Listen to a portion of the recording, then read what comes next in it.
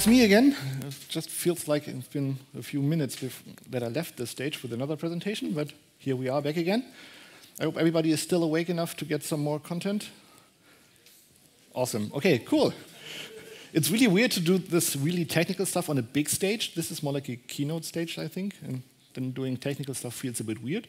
But we'll see how far we get and how good we manage to go through all this stuff. So just a quick introduction, because not everybody probably has seen the previous presentation, so has no idea who I am. Hi, I'm Arne. I'm part of a consulting company running around in the world, helping teams making better software, making stable infrastructures, and optimizing, well, configurations, tune things, and in general, hopefully make life better for every developer or every member of a team. What we're going to do today is um, probably the most source or config written presentation I have ever given because it contains only your slides with like config settings and samples and next more config settings and samples. So this is probably one of the things where you can either try to write down everything or just wait for the slides to be online and then just copy paste adapt from it in case you want to use the things I'm showing you. Um, as much as it's a big crowd, and it's really funny that everybody is sitting there and hardly anyone moves over there. Maybe that's too long of a way to walk, I don't know. Um, anyway, um, the idea of this talk is really to give some things that are comparatively simple, and for people that have been using Nginx for quite a while might already know that and consider this boring. There are various things that may be new even to experts, and there might be some things that are like, are you crazy to do that? Why would you possibly do that in a web server? So I hope that's an interesting mix, and we're going to see um, how many questions arise in the end. I planned for some time in the end, but we'll see how this goes with the big stage. Anyway, so let's get started. And I should probably move out of the way so people can actually see something, unless they use the sideboards. Um, so this is the default configuration if you want to use PHP with Nginx. Default meaning, at least for my server, that is a CentOS-based environment. Those are configuration files that I see as a default setting, which pretty much probably tries to be as close to as an Apache configuration as you can possibly get. Which may be like nice if you actually try to migrate off from Apache and don't want to change too much. But if you create a more modern kind of thing, um, well, maybe that's not the most beneficial and the most optimized thing. So let's have a quick look, and I'm just using the pointer for the middle, so you're not going to see that on the sides. Um, this entry is flexible, of course, and it's based on the document root. So that means that whatever root configuration is configured wherever in the server block, we're going to have the situation that every PHP file has to be in the document root. Again, for Apache, where that was a module, usually and by that had to be something that is to be served from the document root. With Nginx, this is actually kind of pointless because it's not going to do this as a normal web request, but it's going to forward it to an external server, which may be reached by a socket, usually speaking FastCGI as a protocol. And as you can guess by the file name, in this case, it would use the PHP FPM to maintain and run this FastCGI pool is again, in Apache, being a module with PHP, that made sense. For Nginx, that doesn't make sense. And if you look at the majority of modern web applications, there's not really any PHP script except for the index PHP in the document root. Because you don't actually have that kind of setup anymore. So why even place this in the document root to begin with? Particularly since right now in this example, we're using the socket here, but this is not necessarily a requirement. You can have a different machine. And if that's a different machine, having the source code, obviously having it in document root doesn't make any sense at all because it's not even on the server that has the other documents. So instead of doing this weird kind of thing and mapping it into document root, let's be a bit more modern. So first of all, we skip this weird setup with location and file name matching. And we also skip all the complicated mod rewrite stuff that you might have learned the hard way on, on Apache. Um, we're going to use try files. So this is the standard stuff. We don't really care too much about it. And we say try files, so tell the Nginx web server if the requested URL is available as a file in this directory, well, then just serve it. If it's not there, well, go to the next location. And the next location is the next thing in this list. So there's a space in between. And given that this is an at sign means it's a named location. A named location is something you cannot directly access from outside because there's literally no way to provide a valid URL that actually starts with the at sign. So having a named location means that every request that is not to be answered by a locally existing file will be forwarded to PHP. Now, some people usually complain, but what about all the 404s? Well, you can, of course, add additional handling upfront, saying, okay, for certain known attack vectors kind of filters, you can have a list of things that you do not want to have forwarded. But the majority of cases, you want to be able to have dynamic URLs so nobody actually knows whether or not it's going to end up in a 404 to begin with. So forwarding it to PHP, which then can decide whether or not this is considered a 404, makes a lot of sense. What I'm overwriting here is setting the request URI explicitly. That's because some configurations on some distributions had this not set properly in the FastCGI params default settings, so I'm just overriding it to make sure that I have the actual request URL as the document URI available for the PHP script. And since, as I said, most people have an application that by now has one index PHP or server PHP or whatever they call it, well, we can directly route to it. We don't need the flexibility of having the script name being extracted from somewhere. So simply put it somewhere, and you might see that this is not the same as the document root. So it's www.php versus HTML being the document root. And whether or not this is on actually the same machine or not is a complete implementation detail. Given that we use the same FPM pool, this currently will be on a socket, so it will be on the same physical box, but that's not a requirement.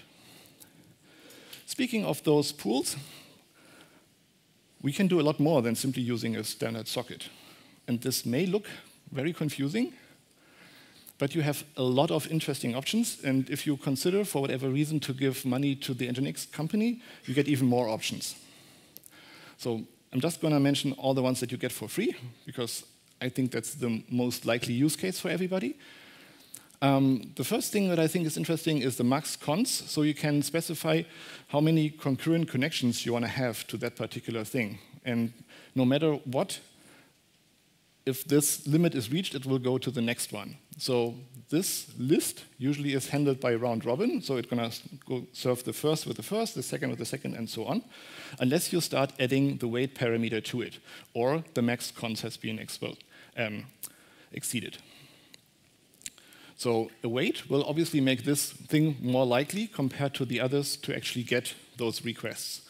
So with that, you can also decide, okay, I have a bigger machine here, and if that machine is most likely to handle the majority of traffic, I'm going to give that the highest weight. And if I have a smaller server as a standby in case we have peaks, well, then you can give that with the lower weight. Another thing that's also practical to specify is the max fails, and in combination with that, the fail timeout that the default timeout here would be 10 seconds. I'm raising it a little bit. Um, that means that after three attempts that didn't work, consider this entry dead for 30 seconds and then try again. So with that, you have the load balancing logic to actually make sure that this machine does not get any requests any further because you already noticed it's actually not working. Then one thing that just exists, I have no idea why you would actually write this instead of just removing the line, but still, you can mark this entry as down. The only reason I can think of why this might be practical is that if you have an automated system that will include all those files, you could, of course, also include entries in here, and then simply have, okay, some external monitoring mark this thing as down, and if you include it, it will obviously be marked as down and not just removed. But if that makes any sense, I don't know. An interesting thing is the backup entry.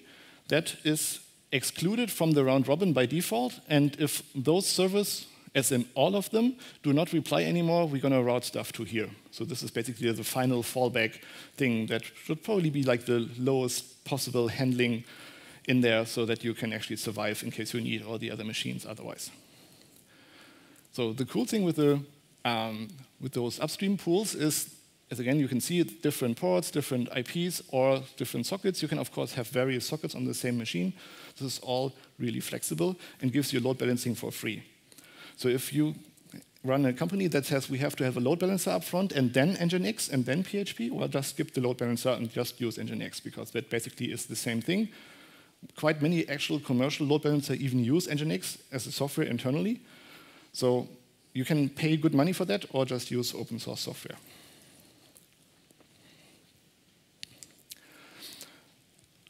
Okay, having various pools, and if you consider using an IP connection or a TCP connection for FastCGI, it might actually make sense to not reconnect to the FastCGI pool all the time.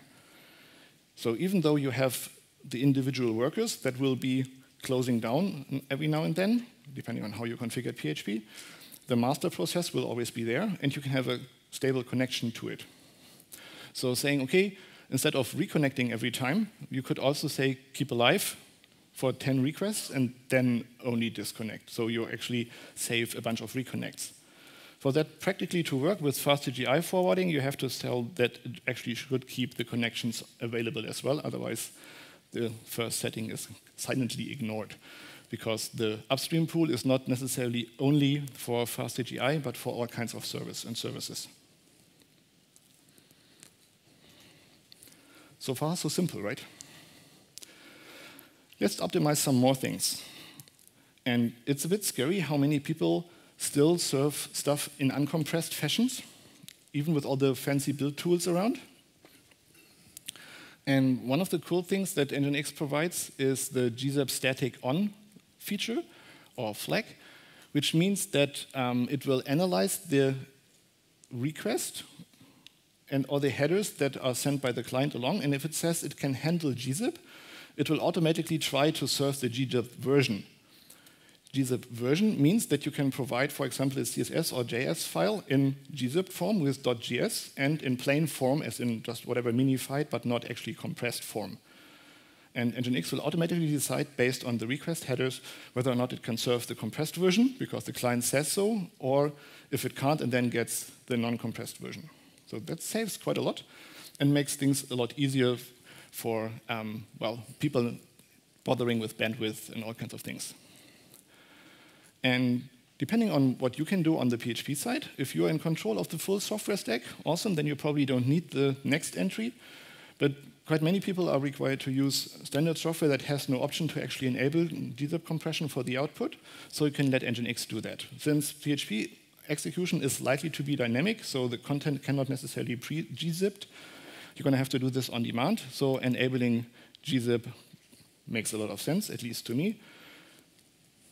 If you have XHTML output, this is not enabled by default, so we have to add that as another MIME type along. So in case you're sending your HTML as application XHTML plus XML, as in the XML header type, um, well, please enable that type additionally, otherwise this is not very efficient. Okay, yet another simple thing to do, because we want to make sure that we are not transferring more stuff than we actually want to. And again, this is, of course, just an example, but um, the majority of sites deploy standard images, JPEGs, fonts, all kinds of things that actually do not really change that often. So having an expires explicitly set for static files makes a lot of sense. Again, for all the proxy servers out there, this is going to save a lot. If you have a, um, a browser set to actually store stuff locally, that will also speed up things because you're not going to request them again and again, even though they didn't change. This is just a standard regular expression that also shows, in case you haven't seen that before, how flexible um, Nginx is in terms of location. This is a regular expression, so everything that ends on one of those potential extensions um, will match to this location, and you can just add whatever kind of rules to it. In this case, the expires for seven days, which is granted relatively long, but if you know that those things don't change too often, that might actually be worthwhile.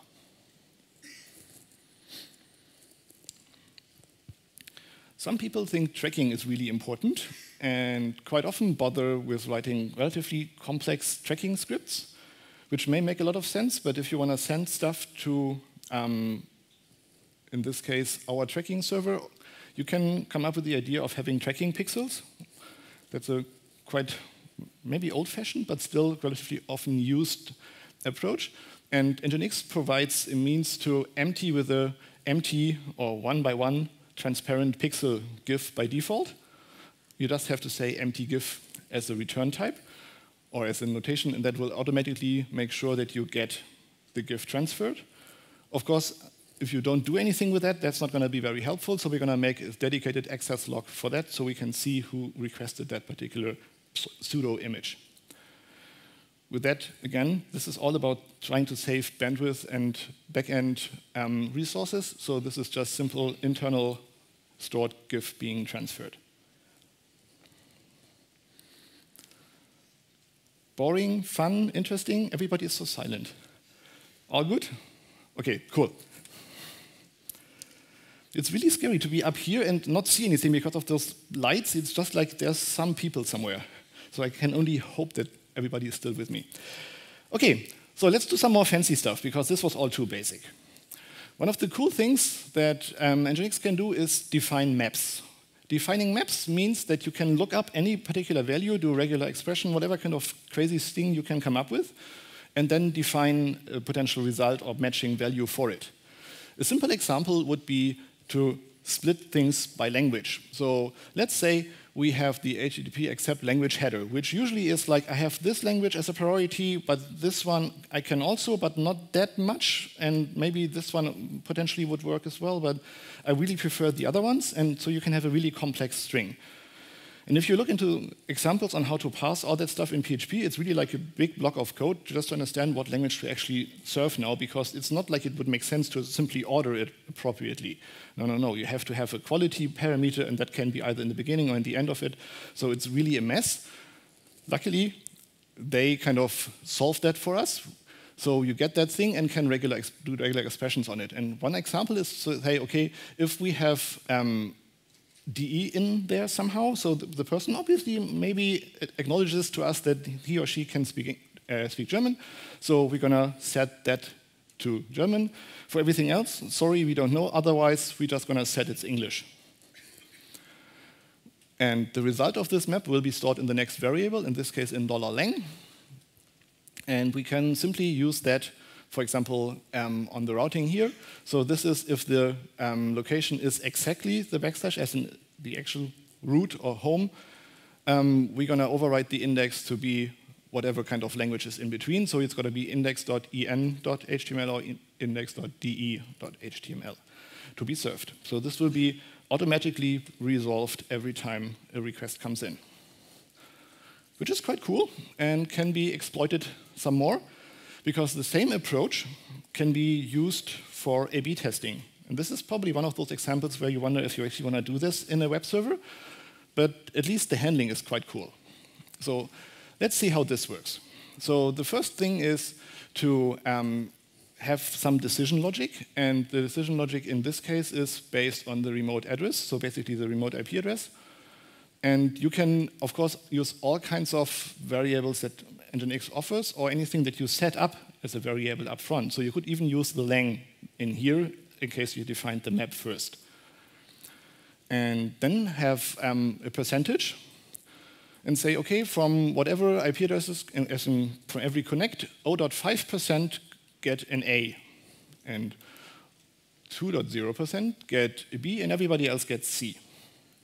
So the result of that choice and the internal logic, as in how to calculate that, is really based on this percentage, and this is just building an internal hash. And um, I think it was murmur hash 2 or something, which translates this into a large integer. And depending on um, some internal logic, this will be mapped to the percentage range. And you get the result as an A, B, or C in, in the variant variable, which we then can again use pretty much like the same we used in, um, in the language. Or we can put it into our path. So for example, saying, okay, we have our named location for PHP, and we're just gonna make it a different um, path on the server that we wanna request it. So we can have various versions, various implementations, whatever being switched. With that, you can, of course, also decide to have different performance measures being done, seeing, okay, some percent of the people get this implementation, some get the other, and we're going to see which one is faster, while keeping everybody else with the default one that we already knew. Now, if you don't want to use that as a pass, you know, of course, also simply add that as a custom header or a custom param in that case, which will be available as an X variant in the server's array within PHP. So then you get A, B, or C as a value and can decide on your own what you want to do. So you don't actually have to have various installations. You just get it as a parameter, so to say.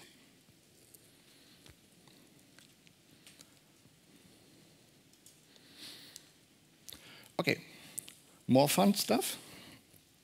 Who has to deal with file uploads? Okay, large file uploads?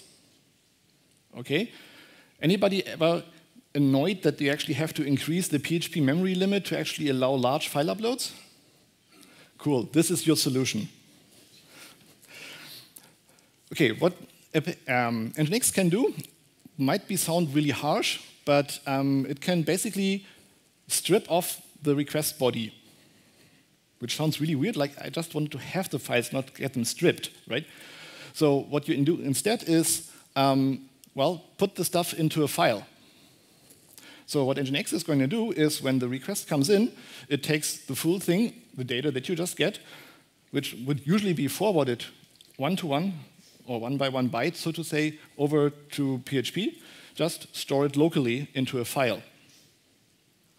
And then even have a limit. You can say, in this case, maximum of 10 gigabytes, which should be considered a large file upload, I would assume.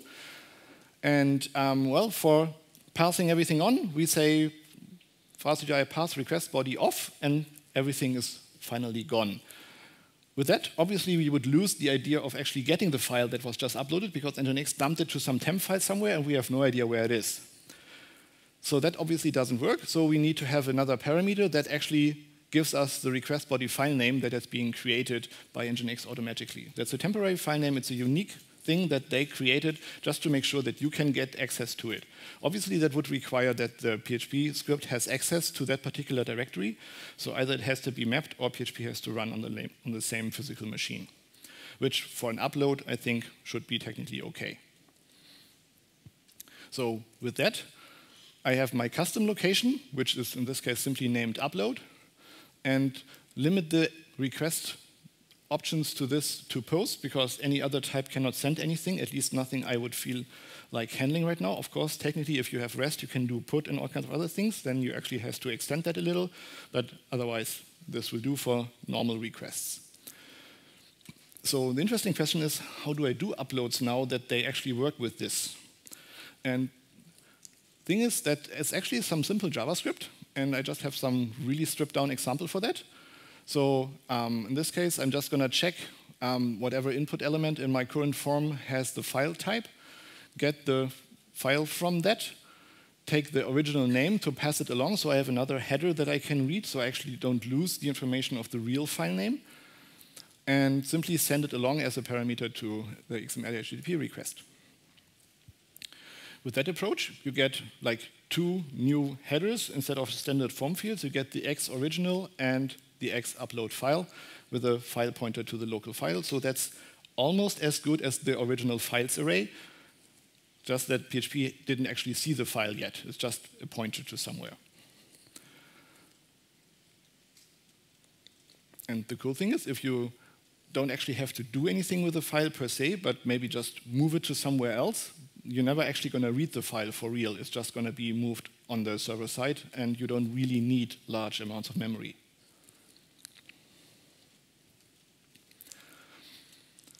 The only drawback with that is, of course, if you use this, it's a standard form you have to send, and you have to use JavaScript to actually override the sending mechanism because you're not really doing a file upload as PHP would expect it to be. But I think that's usually not that big a problem anymore.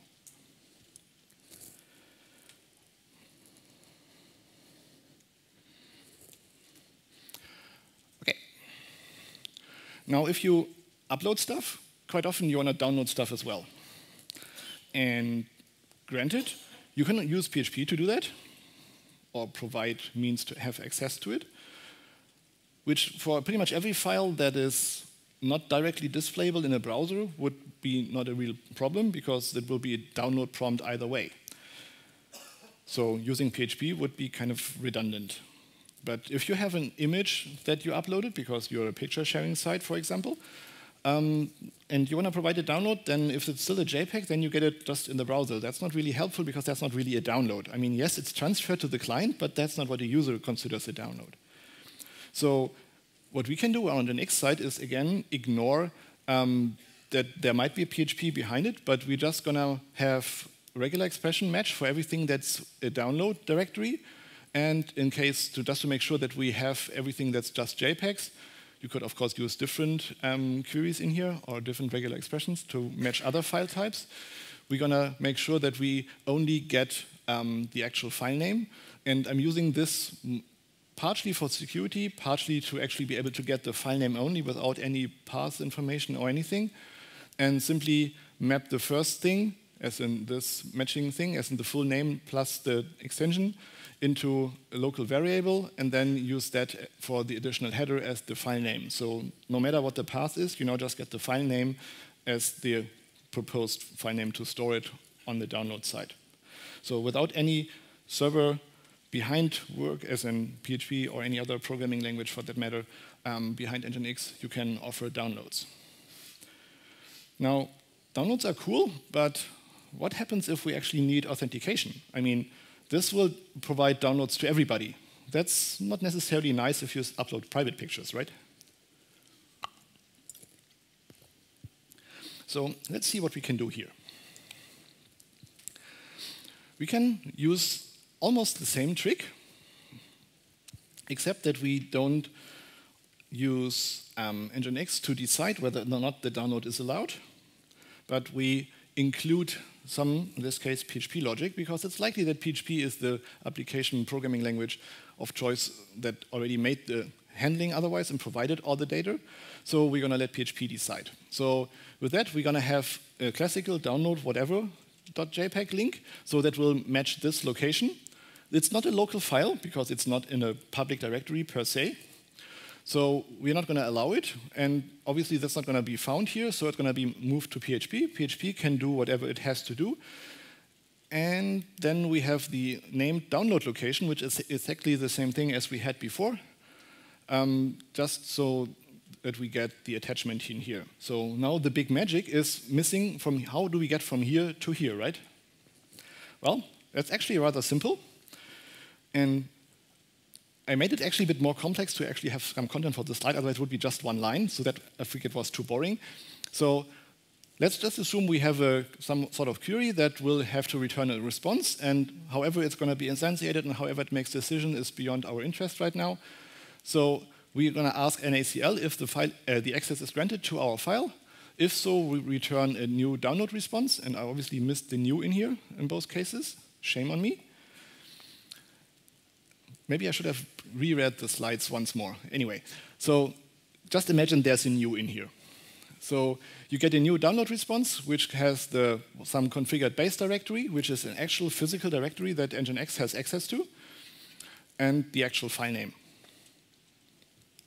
And if it's not allowed, then we send a access denied response.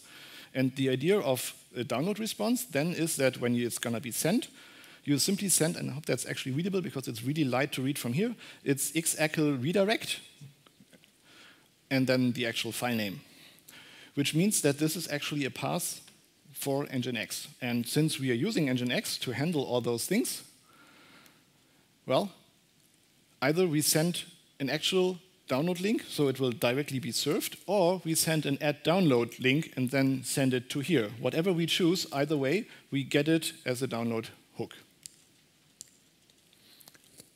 Okay. Yeah, this is a bit, sorry for the typos in there. Okay, one more cool thing, and I just have to hurry a little to actually manage everything that I have within my time, is rate limits. I'm not sure if anybody in here has to run an API. Yeah, okay, cool. Do we actually bother how many people hit it? Okay, one, two, okay, some people bother. Okay, so for everybody else, having a certain control over how many requests you actually get pushed through might be actually quite helpful to actually make the thing behind it survive potential um, bursts of activity. So what Nginx can do for you is provide um, a very nice um, limit and so-called bucket handling approach. So you define a zone, in this case based on the binary remote address, which basically is the IP address just internally represented as a binary form because that's smaller, so the map list gets smaller and thus less memory is used. And we say, okay, this is 10 requests per second within 10 minutes. And then we have whatever kind of location and say, okay, you know what? This is limited to requests based on this zone that we defined here. And we allow a burst of 20. So if you start requesting in a burst, you might actually do 20, otherwise you're going to get limited to 10 again. If you don't set this additionally, it will just stay to this 10 requests per second. And no delay means we're not going to throttle people and make them wait. We're just going to deny them by the if we are um, not exacting them. So that's the status that you get. That's relatively cool and simple, but again has the potential drawback that you're not really able to control very much. So you might want to have whitelists for certain hosts that you could potentially add to that actually. Or you might want to have people that actually are authenticated to have a different limit. But obviously on that particular authentication, not on a general basis. So if you have one person from an IP address and you know that person being authenticated by whatever means, somebody else coming from the same IP address with a different authentication should not actually end up in the same bucket. So that doesn't work for all the things. So let's try to do this a bit more fancy way, or maybe crazy. So again, we're going to split up things. We're going to have our standard thing, as in the slash API to, for our actual location, and we unconditionally forward everything to our gateway PHP script, which then does whatever magic we might eventually see. And in case it accepts that the request should be forwarded, um, it's going to send the X-Accel-Redirect at, at API, and those additional headers. And this may look a bit annoying, and I think actually it is, because if you forward stuff with an X-Accel-Redirect, even though you set headers in here, they will be stripped to the forwarded thing because it's an internal forward, and they're not going to forward all the headers that the previous block set by itself, but they are still available in variables. So that's why I can basically copy the things over. So with this, I can pretty much mimic the behavior like that you see on, on GitHub or on various other services that say, okay, you have your own limit. This is the amount of requests that you can still do, and the limit will be reset at this particular point in time. So that's rather fancy. And this is the PHP script to do something like that. Again, this is somewhat a pseudo script. But let's just assume we have some Redis to store our authentication tokens. And our, so we have the authorization or authentication depending on what level of um, well, trust you need. Um, to say, okay, if we have anything, otherwise we're going to use the remote IP address. So that means everybody from the same IP address will fall in the same bucket. That's fine because we have no idea who that is. But for everybody else, we're going to use their token. And then we can ask um, whether or not the request is within the limits. If so, we're going to send the X-Accel-Redirect to API and add the additional headers, or we set the response code being 403, which technically is superfluous because the other thing would do that as well anyway. But um, we can forward that to um, yeah, basically nobody then. So either you get X-Accel-Redirect and those headers or 403 and those headers, which basically conveys the same information. You're either allowed to access it with your new restricted things, or you get told like, hey, you're not allowed, and this is because of your limit being zero. This code obviously assumes that um, this will implicitly reduce the available slots. This is maybe not necessarily the nicest API design, but I think it conveys the message. So the basic idea here is, again, to use PHP to make a decision, but actually not really care about anything else and then give handling back to Nginx. So that's a nice back and forth between the two systems. Speaking of back and forth, what we did for various clients by now is um, to deal with legacy systems. Obviously, everybody somehow magically has those. And sooner or later, people realize they want to get sort of rid of it, but don't know really how. And sometimes they call us for help. And one thing that we usually tell them is like, you don't want to really get rid of them because you don't want to touch them. And so what you want to do is you put, put stuff around it and make sure that all new stuff is on a new system and everything else stays on the old system until you have time to re-implement the areas that you actually care about. That's in a nutshell. So to actually do that, we could put an Nginx in front of it and simply say, okay, the default requests, whatever like standard location stuff that we had before, and if it's a PHP target, then we're gonna do whatever we have to do as and forward it to our new system. And um, if that system says like, I have no idea how to deal with that because I don't have any routes for this or whatever, you wanna get a 404 usually. So the default error page 404 is the next named location. So next, next in line is just a new location where you can actually, for example, set the old system. So basically, if you have this setup with a named PHP location for your current thing, just rename add PHP into legacy, for example, and then have a new PHP which does whatever new it can do, and set the 404 page for add legacy. And by that, you have it as a ring down chain. So we're going to try the first one. If that says, I don't know, it goes to the next one. And if you want to add even more systems, you can actually keep doing this for quite a while. That, of course, implies that the new system has a sort of fast response time. Otherwise, it's going to be a bit boring to wait for all the replies. Um, but most legacy systems are relatively slow, so adding a milliseconds on top for the additional lookup probably doesn't really hurt anyone. For that logically to work, you have to tell that it's supposed to actually handle recursive error pages because this block will return a 404 and this will mean it goes to the next one.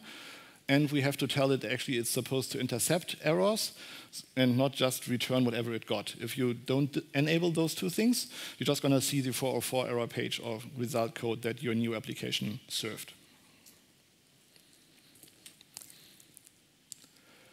Okay, completely different topic, but also interesting. Um, quite many people use by now, luckily, some because of like this new data privacy laws things that they have to use SSL or TLS for everything. And now wonder how do we do all the login stuff? And how do we make sure that not everybody has to know passwords? And one way to deal with that is using client-side certificates. And the funny thing is, Nginx can do this for years already.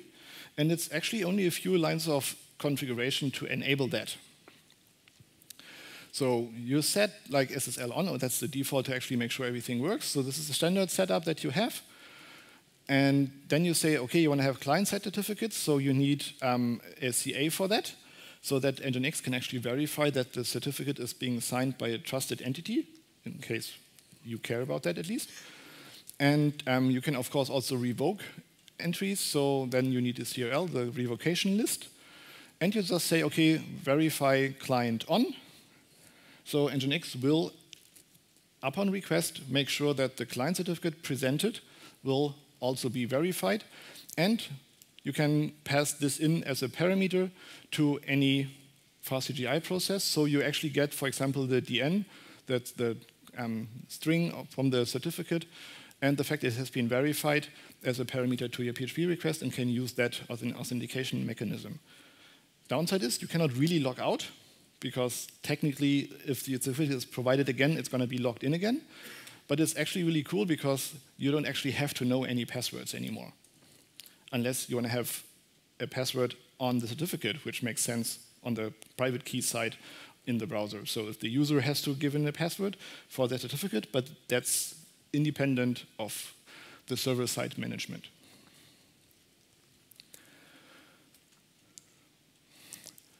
More crazy stuff, and now this comes with a bit of Lua. I'm not sure if anybody knows that, but um, there's a module for Nginx that supports Lua scripting, and there's an alternative distribution that has that module compiled in by default. Um, it's otherwise completely identical. The cool thing is that you can hook into all kinds of areas, and that allows for even more dynamic stuff than you could possibly do with um, things within Nginx in the normal configuration and with a lot less overhead than calling fastCGI processes. So in a way, this is Lua gets internally compiled unless you set this Lua code cache to off. So that means that in this case, it would load this for every time again, which while you're developing it is practical. Otherwise, it's kind of impractical. But Lua is extremely fast. And what we can do in this case um, is to use that to implement um, a single sign-on system using some Lua scripting. So the basic idea here is to have um, a login. So this is basically a authentication type of proxy upfront. So if you go to slash login, it will forward everything to whatever kind of local thing um, that handles all the login logic. And if you try to call whatever actual service, um, it will make sure that the requirements based on this Lua script um, are, are met. And if so, we're going to forward it to the actual service. So for that to work, let's have a look at the Lua code. This is comparatively small, so this is really just a sample implementation. So let's assume we have a, a cookie with the UUID, which is the thing that we use to identify our user. If we don't have a UUID in a cookie, obviously the user is either new to us or he or she removed all the cookies. So we just have to redirect that person to the login page, and we are done. Okay, so obviously we are still here, so we do have a cookie. So we're gonna require the um, API, and REST is um, the thing that does the um, Lua stuff with Nginx. Um, and connect to a Redis in this case, just as an example, as a store where tokens might get stored. And we're gonna get the entry that is associated with our UUID in case we can't find anything, obviously the user might pro have provided us with a faked one or one that's way too old. So again, let's leave and redirect to the login page. Otherwise, we remove the header that has UUID in it because we don't want any fake headers to be set, and we define our own information which means we're going to pass on the UUID for others, for the actual service, and we're going to pass whatever we got along with the UUID from Redis. So that might be a JSON structure with all kinds of information about the user that might be relevant for the service. With that, you can get access again. It's the same thing as in the set header of FastCGI params that we had. So you can pass that on, and in this case, the proxy pass will have that as an additional header sent along so we know exactly what's in there. I'm here clearing the actual cookie settings. You can, of course, also have that in the Lua script to filter out the cookie parts that you don't want and pass on everything else so that your service script is not limited in using the actual cookie.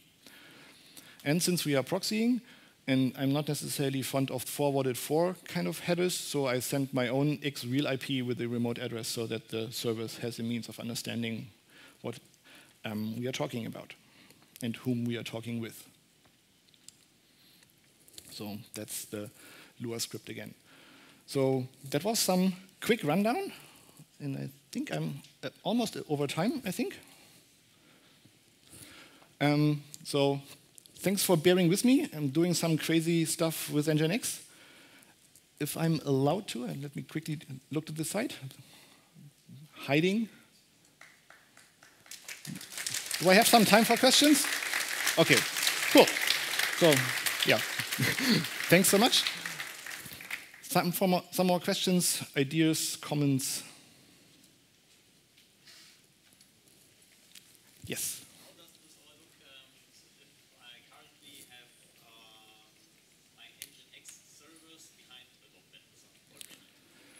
Okay, so just repeat it for everybody. How does it look like if the, this Nginx would be behind the load balancer? Um, well, depends on what the load balancer does for you. Technically, the majority of things you can just do one-to-one -one because a load balancer is basically just an HTTP proxy, so it will forward everything one-to-one. -one. You're going to lose some information, so like the remote address will obviously not be the same. So you would have to have used a different variable to get that, but everything else should be passed along. So that should not really affect it. You, of course, lose some benefits of doing load balancing on here again if you have a load balancer up front already, but otherwise there's not really much of a difference. It's still an HTTP request coming in.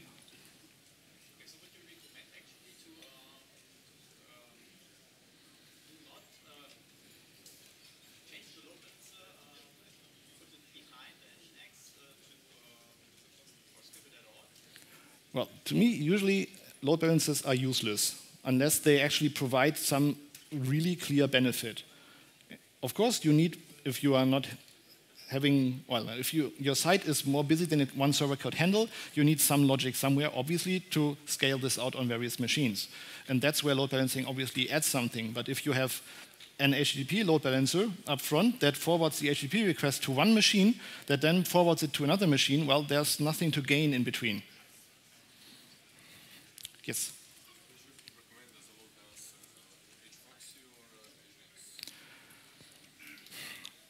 Nginx is the most flexible, most powerful proxy that I know. You can, if I would recommend Nginx as a proxy, kind of, right?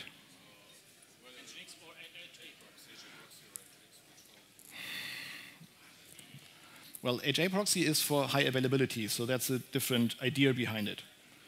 This is for load balancing and spreading out things, and obviously being most flexible in handling things you still have a single point of failure if that machine goes down.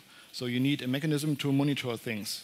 And the commercial edition of Nginx has a lot of features for that, or you have to use something else for high availability. Okay? Okay, any more questions? Yes?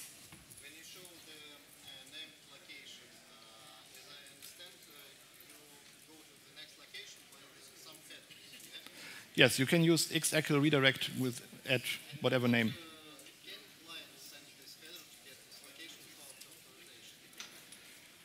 I didn't understand that. No, it's an internal and has to come from an internal process. Okay. More questions? Sorry, it's really hard to hear from here.